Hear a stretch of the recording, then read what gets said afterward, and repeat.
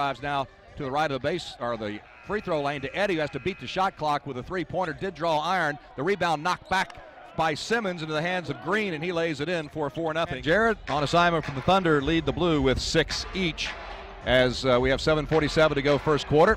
Here's a 18 footer put up by JaMychal Green. Zanna for team high lead with seven, 45 38. Under four minutes to play. Left side, it's Green. Facing up on Jerrett. Lets a 18 footer go.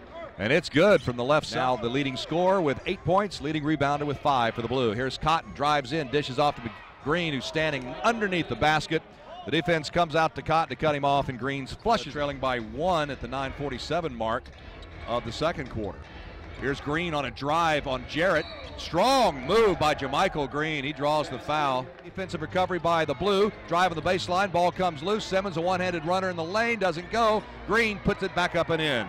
Three opportunities on offensive rebounds on that Oklahoma City effort 11 from Michael Jenkins. Here's Eddie, goes left of the lane, spins, shoots, misses. Rebound at tip, tap in by Green. Another second chance. That's the 14th offensive pass, left side of the lane to Green. Zanna has the defense. Green's going to back him into the lane.